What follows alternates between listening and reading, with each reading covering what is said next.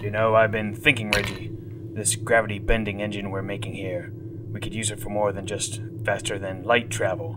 We could use it for time travel as well. This is how I think it would work. Don't don't even think about that. It's not possible. It's just not. That's not like you, Reggie. You've seen the engineering data. We could do this. It's not the engineering. It's the logic behind it. It doesn't work.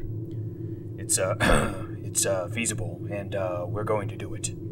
Look, even if you could physically travel back and forth in time, it would still be meaningless. Time travel? It's uh only a uh, godlike power, Reggie. It's like this. Let's say you get this machine to work. If you travel forward in time, you're going to see something that is either beneficial or a danger to you in the future. When you get back to the present, you're going to try to make the positive things happen or the bad things not happen. And that intervention is going to change the future to such an extent that your ability to predict the future based on your trip would be meaningless.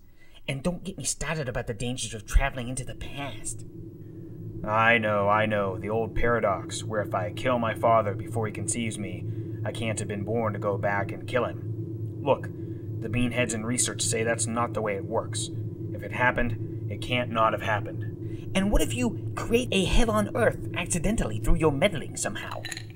That's the uh, best part. You just keep going back again and again until you fix it. Foster, don't you see how this really works? You can't ever fix a mistake in the past. Let's say you go back in time, screw something up, and then you go back before the incident to fix it. You've got two possible outcomes. Either you fail to fix things, in which case the bad thing continues, or you are successful. But that's worse yet. If you succeeded, then the problem never occurred in the first place, so there was never a reason to go back in the past to fix it. If you fix the past, you never go back in time to fix the past. Hence, the problem continues. You either fail and are doomed, or you succeed and the problem is still not fixed. Reggie, that's uh, got to be the stupidest smart thing I've ever heard.